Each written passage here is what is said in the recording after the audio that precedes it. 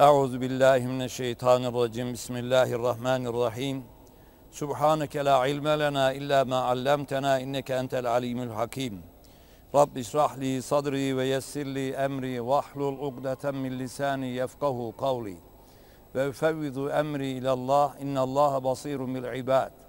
Euzu billahil azim ve bi vecihil kerim ve sultanihil kadim min şerri şeytanirracim. الحمد لله الذي أرسل رسوله بشيرا ونذيرا والصلاة والسلام على من أحيا الدين بعد أن كان أسيرا وعلى آله وأصحابه المقدمين على الخير ولا عسيرا اعلموا أن أفضل الكتاب كتاب الله وأفضل الهدي هدي محمد صلى الله تعالى عليه وسلم وشر الأمور محدثاتها وكل محدث بدعة وكل بدعة ضلالة وكل ضلالة في النار ve biz senedil muttasilen Nebi sallallahu aleyhi ve selleme ennehu kal. Afetü'd dini selâfe. Fakihun facir, imamun cair ve müştehidun cahil. Sadaka Resulullah sallallahu aleyhi ve sellem. Peygamber Efendimiz sallallahu aleyhi ve sellemin cümle peygamberan nizam aleyhimus salavat ve teslimatın ehli beyt, el, ashab, etbağlar rıdvanullahi teala aleyhim ecmainin bil cümle ahirete irtihar eden mümin müminatın hasaten eserinden yararlandığımız bu cami-i şerifin haziresinin metfun bulunan Ahmet Ziyad'ın Gümüşhanevi üstazları, üstazlarımız, meşah efendilerimizin hazırun ve dersimi dinleyen cemaat kardeşlerimizin bu cami-i şerifi bina edenlerin bugüne kadar ulaşmasında emeği geçenlerin bu cami-i şeriften güzeran eden eimme, hutaba, müezzinin, gayyibin, mümin müminatın tüm geçmişlerimizin ervah için El Fatiha. Bismillahirrahmanirrahim. Resulü Müşteba Efendimiz sallallahu aleyhi ve sellem buyuruyor. Afetü dini dindarların, din ehlinin afeti, uğursuzluğu selase, üç adamdan dolayıdır. Üç adam sebebiyle din ehli felakete uğrar, uğursuzluğa uğrar, afete uğrar. Bunlardan birisi fakihun facir, fasik alim. Alim insanlara dinini, diyanetini öğreten insandır. Ve insanların muktedabihidir. Takip ettikleri, uydukları insandır. Yaptıklarını bu adam biliyor, bunun dinde, kitapta yeri var diye taklit ettikleri insandır. Ee, sıradan bir insan bir hata yapsa kendine yapar. Onu kimse taklit etmez. Ama alim bir adam bir hata yapsa bunun dinde yeri vardır demek ki yapılabiliyormuş diye binlerce insan o günahı hatayı işler. Bu yönden fasık dinden dinin sınırlarını aşmış, e, hudutları tecavüz etmiş yani günahkar. Allah'ın emirlerini zaman zaman çiğneyen, günah işleyen bir alimin dine, dindarlara büyük büyük zararı vardır. Çünkü onu herkes demek ki bu yapılıyormuş diye taklit eden binlerce, yüzlerce insan olur. Bu yönden dindarlara büyük e, afeti, zararı olur. E, onun için Peygamberimiz öyle söylüyor. Dinin afeti üçtür. Birincisi fasık alim. Zararı çünkü umuma, herkese yaygındır. Sadece bir kendisine münhasır kalmaz. Münhasır kalmaz ve böylece Allah'ın emirlerinin çiğnenmesine çığır açmış olur. Önderlik etmiş olur. Herkes onun peşinden giderler. Evet, fısk, fısk isyan demektir. Allah'ın çizdiği yasak çizgilerini aşmaya fısk derler. Böyle e, hudut dışına çıkmaya fısk derler. Bu, bu açıdan e, deliklerden çıkan farelere fevasık denir Arapçada. Çünkü onlar da delikten dışarıya çıkmaması gereken yere çıkarlar. E, böyle e, hududu aşan anlamına gelir. Fasık tabii derece derecedir. En büyük fasık kafir anlamında Allah'ı inkar edendir. Allah'ı inkar etmiyor, kabul ediyor, reddetmiyor fakat onun çizdiği çizgileri aşıyor. Haramlarını ihlal ediyor. Haram işliyor. Buna da fasık denir. Günahkar adam demektir. Şimdi bu ikincisi yani Allah'ı inkar etmemek kaydıyla günah işleyen ehli sünnet vel cemaat inancına göre, itikadına göre mümindir, hakka mümindir. Bir insan Allah'ı inkar etmemek kaydıyla, Allah'ın emirlerini inkar etmemek kaydıyla ne kadar büyük günah işlerse işlesin mümin sayılır. Anla nasıl mümin? Günahkar mümin sayılır. Onun cennete mi cehenneme gideceğini Allah bilir. Mesela Kur'an-ı Kerim'de namaz kılmayanlar işte e, anlıyoruz ki e, cehenneme gitmişler. Bunu nereden biliyorsun?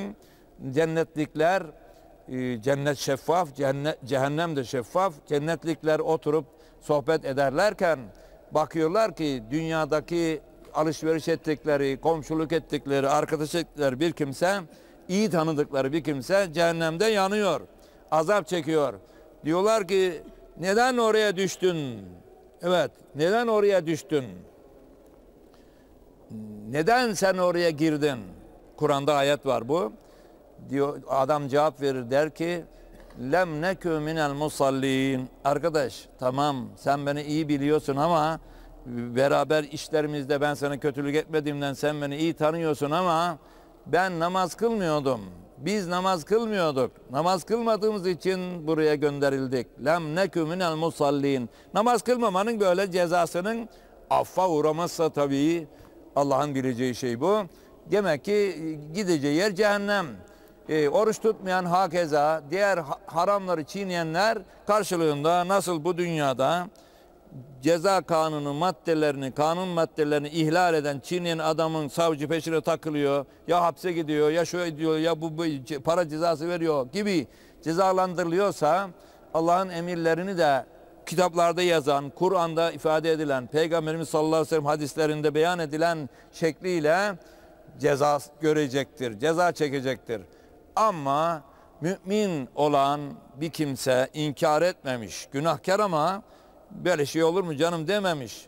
Mesela Kur'an-ı Kerim'e göre kadınların örtünmesi farzdır. E, içmek haramdır. Rüşvet al, alıp vermek haramdır. Yalan söylemek haramdır. Muharebeden kaçmak haramdır. Başkanın malını gasp etmek haramdır vesaire vesaire. Bunları adam yapıyor fakat inkar etmiyor. Yani açıklık diye bir şey olur mu canım? Böyle emri kabul etmiyorum demiyor. Açık geziyor. Fakat ben Allah affetsin diyor. Bu mümindir. Namaz kılmıyor adam. Böyle namaz gibi şey olur mu canım? Hangi devirdeyiz ya? Öyle şey mi olur demiyor. Kılmıyor. Allah affetsin diyor. İnkar etmiyor işin emrin aslını. Bu mümindir. Hakka mümindir. Gerçekten mümindir. Fakat tabii Allah'ın emrini ihlal ettiği için cezalandırma durumundadır. Mutlaka cezalandırılır mı onu biz bilmiyoruz. Emirler böyle. Fakat Allah Erhamur Rahimindir. Vakasın adamın bir başka taraftan Allah'ın hoşuna giden çok önemli güzel bir işi vardır. Kendi hakkıdır. Namaz Allah'ın hakkıdır. Oruç Allah'ın hakkıdır. E, bunları siliverir. Onu biz bilemeyiz. Meşiyetullah Allah'ın dilemesine kalmıştır. Ehli sünnet inancı budur. Biz de millet olarak ehli sünnet vel cemaat itikadında inancındayız. Başka bazı mezhepler var. Buna fırakı dalle denir. Sapık mezhepler bir günah işleyen kafir olur diyenler de var. Mesela hariciler bunlardandır. Böyle diyenler var. Bazıları da günah işlemek insana zarar vermez, iman yeter diyenler var. Böyleler de var. Bunlar da mürciye denir. Bunlar sapık mezheplerdir. Ehli sünnet ve cemaat itikadı orta yoldur. Aşırılıklardan uzak. Bizim milletimiz de Müslüman olduğu zaman bu yolu seçmiş. Atalarımızdan mevruz. Biz de böyle bu itikat üzereyiz. Buna göre günah işleyen zarar vermez diyemeyiz. Verir elbet. Ama günah işleyen mutlaka cehenneme gider de diyemeyiz. Bu Allah'ın bileceği bir şeydir. Bu iş, günah işleme işi sıradan böyle bir vatandaş, bir mümin tarafından yapılırsa kimse onu taklit etmez. Zaten cahilin teki, kendi bilmiyor, yaptı derler. Ama bir hoca, bir alim, bir günah işlerse herkes onu önder bilir, taklit eder. Onun rehber bilir. Aa, hoca bunu yaptığına göre demek kitapta yeri var diye herkes yapmaya kalkar. Bir sürü adama zararı dokunur. Onun için fasık alim, günahkar alim dinin afetidir diyor Peygamberimiz sallallahu aleyhi ve sellem. Ne kadar güzel söylüyor. Ne kadar güzel söylüyor. Hocalık zordur. Hocalık zordur. Halkın böyle kötüye gitmesine sebep olmamak için hoca olan adam, hoca olan adam fedakar bir hayat sürmek zorundadır. Sen mesela ufak tefek böyle bir şeyler yapabilirsin ama bakın bu sarık beyazdır. Hocanın alametidir. Hocalığın alametidir. Şunun üzerinde bir siyah toz konsa kimse farkına varmaz. Ama buraya bir beyaz bir toz konduğu zaman hemen kendini gösterir. Hocalık böyledir. Fedakarlık yapmak zorundadırlar. E biz de insan değil mi? Siz de insansınız da mesleğiniz fedakarlık mesleğidir. Çünkü herkes senin ayağın attığın adıma bakıyor, konuştuğuna bakıyor, yaptığına bakıyor. Sen öndersin. Fedakarlık yapmak zorundasın. Ufak tefek hataları yapmamak zorundasın. Yaparsan işte herkesi yanıltırsın. Demek bu yapılabiliyormuş diye öyle bir kötülüğe çığıraşmış olursun, felakete sebep olursun diyor Peygamberimiz sallallahu aleyhi ve sellem. Efendim fecr, fecr yarık demektir. Facir işte demin fıskı anlattık. Şimdi bir de o yönden anlatalım.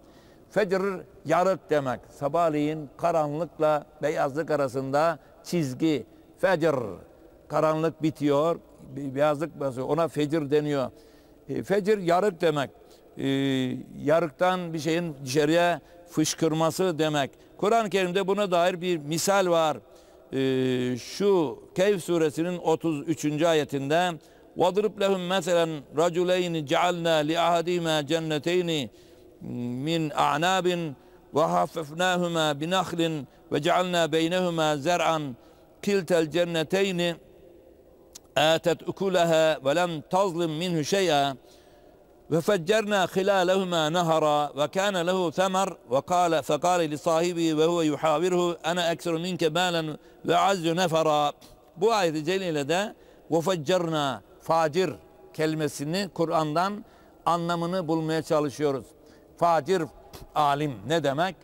Ee, böyle normal çizgilerden dışarı çıkmış, fışkırmış, suyun fışkırdığı gibi.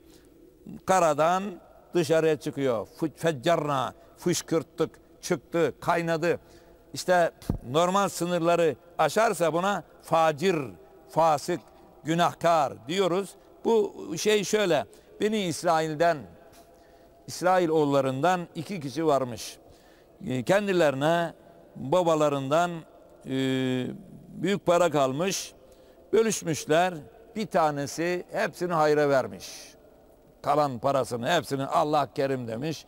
Para yetecek şu, bundan fazladan hayra verivermiş. Bir tanesi de hissesine düşene iki bahçe almış. O bahçelerin etrafı burada anlatıldığına göre hurmalık. Ortasında ekinlik var. Ayrıca iki bahçede de e, ekinlik var. Etrafı ağaçlık. Bir de nehir var. Sulayacak tarımı e, tarıma e, sürdürebilmek için nehir var. O meyve ağaçlarını, bitkileri, nebatı geliştirmek için her şey mükemmel.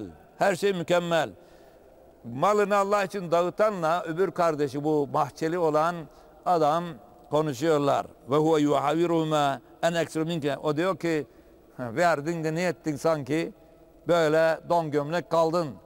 Beni görüyor musun? Bak bahçeme bak. Ne muazzam ağaçlarım var. Bizim bağlarım var. Paralarım var. Mülküm var. Herkesin yanında da itibarlıyım. O da diyor ki Allah verdi desene. İnşallah desene. Allah'a bağlasana bunu. Ne Allah ya diyor. Kazandım, çalıştım, yaptım. İşte bu hale geldim, getirdim. Bunun bir misali de Karun. Karun vardır. Musa Aleyhisselam zamanında çok zenginmiş. O kadar zenginmiş ki Kur'an-ı Kerim inne karune diye başlıyor Hatice Celle. Ee, o kadar zenginmiş ki e, altın sandıklarının anahtarları, anahtarları sadece sandıklar değil. Altın sandıklarının anahtarlarını bir bölük adam zor taşırmış. Bir bölük 300 küsür kişi oluyor biliyorsun. Askerliği yaptınız. 300 kişi zor taşırmış. O kadar zenginmiş. Kar, Karun demişler. Allah desene. Allah'tan geldi sana. Ne Allah ya demiş. Kafamı çalıştırdım. Bu hale geldim. Derken tabii Birdenbire yok olmuş her şey. Karun yerin dibine batmış. Hala batıyor. Hala batıyor.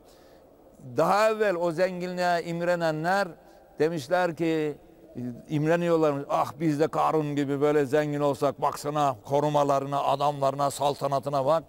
O yerin dibine geçince iyi ki Karun gibi olmamışız demişler. Şimdi bu zenginlik güzel bir şey. Nimet Kur'an-ı Kerim'de büyük nimettir zenginlik ama imtihan sebebidir. Normal bir şeyin yok. Mesela gazinoya gidiyorsan para lazım. Pislik yapıyorsan para lazım. Bedava hiçbir şey yapmıyorlar. Paran olmadığı için oralara gitme şansın zayıf. Yani o pisliği yaptığı adam bir şeyini bulur, kolayını bulur yapar ama elde imkan olmadığı zaman e, gitme şansın azalır. Ama cebinde para var, altında araba varsa e, parayla istediğin yaptırabilirsin. Pisliğe, kötülüğe, günahlara bulaşmak kolaylaşır. Bakalım o parayla bu parayı pislik yerlere mi kullanacaksın, günah yerlerine mi harcayacaksın, hayır yerlerine mi harcayacaksın? İmtihan sebebidir zenginlik. Şimdi böyle çok zengin olan adamlara bu dünyada herkes imrenir. İşte burada olduğu gibi, anlattığım hikayede olduğu gibi, ah be biz de böyle bir zengin olsak diye. Ama kabre girince nereden kazandın, nereye harcadın diye soruları var. Soruları var. O zaman bunu görünce hepimiz o süzgeçten geçeceğiz. İyi ki zengin olmamışız. Bak yüküm az, hesabım az diye sevinmeye gideceğiz. Allah herkese hayırlı servet versin. O servetin şükrünü eda edecek bilince, imana, ahlaka sahip kimse kılsın inşallah. Tabii zenginlik imtihan sebebi ama imtihanı başarırsan çok güzel. Şu camide bak konuşuyoruz. Asırlardır burada namaz kılıyorlar. Kim yaptırmış? Kanuni Sultan Süleyman. Allah onu rahmet eylesin. Neyle yaptırmış? Parayla yaptırmış. Bu kadar muhteşem bir camiyi yaptırmak ancak kanuni gibi adam olmaya bağlı. Yoksa nasıl yaptıracaksın bunu? Para işi bu. Böyle yerleri harcarsanız işte bak şimdi namaz kıldık. Ee, hep böyle namaz kılacaklar. Kıyamete kadar inşallah namaz kılınacak burada inşallah kıyamete kadar. Hep kılanlardan bir misli kanuniye yazılacak. Ne sebep oldu buna? Zenginlik sebep oldu. Bu zenginliği böyle harcadığınız zaman ahirete dünyayı binek etmiş olursunuz. Ne güzel binektir dünya diyor Peygamberimiz. Ama binek yaparsan, ahirete binek yaparsan böyle değil. Nice zenginler var. Hiçbir kuruş hayra parası nasip olmuyor. Hep vur patlasın, çal oynasın bir hayat içinde hmm, servetini lüzumsuz yerlere harcıyor. Öyle gidiyor. Bunun hesabı var. İşte böyle imtihan dünyası. Ee, şimdi burada da o zengin olan böbürlenmiş. Öteki de öyle deme abi demiş ya baksana bu Allah veriyor bunu Allah'ın lütfu. Ne abisi Allah'ın lütfu falan ya demiş. Sulayam, kazdım, su çıkardım. Etrafına ağaç diktim, bakımını yapıyorum, gece gündüz çalışıyorum. Bu mamur hale geldi derken müthiş bir kuru rüzgar es vermiş, samyeli. Her şey yanmış, kül olmuş. Öyle bir hal. Onları diyor şiit sen misal ver. Orada işte bizimle ilgili olan ve feccerna ve feccerna hilalehuma oksin arasından o iki bahçenin arasından bir de nehir fışkırttık. Facir e, normal sınırı aşan Allah'ın çizgisini aşan demek.